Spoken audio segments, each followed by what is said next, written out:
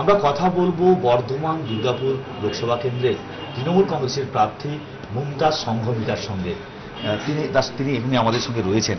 একটা বিষয় আপনাকে প্রথম জিজ্ঞেস করব যে আপনি যে কেন্দ্রে দাঁড়িয়েছেন এবার, সেই কেন্দ্রে গতবার সিপিএম জিতেছে অর্থাৎ বামফ্রন্ট জিতেছে।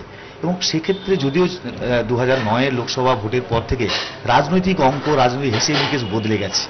কিন্তু যেহেতু এবার কোনো জোট হয়নি, গতবার জোট ছিল। কংগ্রেসের সঙ্গে জোট ছিল এবার জোট নেই। সেক্ষেত্রে আমরা জেতার সুযোগ কতটা রয়েছে? আমার তো মনে হয় বেশ ভালোই রয়েছে। হ্যাঁ খুব ভালোই রয়েছে। কেন? মানে তৃণমূলের জোর দিন দিন বাড়ছে। এটাই আমি অনুভব করছি। কিন্তু আপনি হচ্ছেন এমন একজন প্রার্থী। অবশ্যই শিক্ষিত মানুষ আপনি চিকিৎসক মানুষ পড়ানো। কিন্তু পাশাপাশি যেটা হচ্ছে যে আপনার বাবা হাবিবুল্লাহ সাহেব তিনি এই এই বর্ধমানের অন্যতম সিপিএম এর প্রতিষ্ঠাতা এবং অগ্রণী নেতা ছিলেন। তার নামে সিপিএম এর পার্টি অফিসে গ্রন্থাগার রয়েছে। আবার আপনি তার মেয়ে, যদিও আপনি নুরায়ম চৌধুরী সাহেবেরও স্ত্রী, কিন্তু তার মেয়ে তৃণমূল কংগ্রেস হয়ে দাঁড়িয়েছেন। এটা কি প্রচার করতে গিয়ে কোথাও আপনার অসুবিধার কারণ হয়ে দাঁড়াচ্ছে না? সত্যি কথা বলতে কি হচ্ছে না।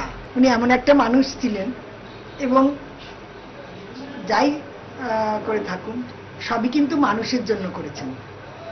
আর আজ আমি যে নেমেছি, এটাও কিন্তু মানুষের জন্য, পশ্চিমবঙ্গের মানুষের জন্য তথা সব সব মানুষের জন্য করবার জন্যই। আপনি বলছেন যে আপনার বাবা ছিলেন মানুষের জন্য কাজ করতেন, তার নীতি ছিল, হয়তো তিনি কমিউনিস্ট ছিলেন, কিন্তু ছিলেন মানুষের জন্য। আর আপনি বলছেন যে আপনি তৃণমূল করলেও, বা তৃণমূলে দাঁড়ালেও আপনি মানুষের জন্য কাজ করতে চান। কিন্তু এক্ষেত্রে কি আপনার মনে হচ্ছে যে জেলার সিপিএম বা আপনার বাবার তৈরি করা এই বর্ধমান জেলার জেলা যে সিপিএম তারা কি মানুষের জন্য কাজ করছে না সেই নীতি থেকে সেই আদর্শ থেকে বিচ্যুত হয়েছে। দেখুন মানুষ যখন তাদের পিছনে আজ নেই তাহলে এর থেকে ইঙ্গিতটা আপনি বুঝতে পাচ্ছেন। যদি সেই মানুষগুলো সেইভাবে মানুষের জন্য করত তাহলে আজ মানুষ ঘুরে দাঁড়াতো না পরিবর্তন চাইতো না। একটা অভিযোগ করছেন যে আপনি খুব একটা এখানে থাকেন না সেক্ষেত্রে এলাকার কাজ কীভাবে করবেন?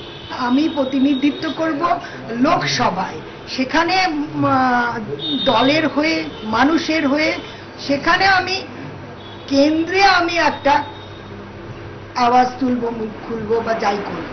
হ্যাঁ দৈনিক যে তাদের, সেগুলো নিশ্চয়ই, সেই ডিমান্ড, সেটাতে এসে দেখতেই হবে, করতেই হবে। বর্ধমানে সিপিএম যারা রয়েছেন বা যাদের, তাদের যে যারা লোকসভায় দাঁড়াচ্ছেন, তাদের অন্তত পাশে মানুষ নেই। মানুষ রয়েছে তৃণমূলের পাশেই দাবি তৃণমূলের পাশেই রয়েছে মানুষ, সেটাই দাবি করছেন তৃণমূলের প্রার্থী। ক্যামেরায় সৌমেন পানের সঙ্গে নিমাই পান্ডা এই আনন্দ বর্ধমান।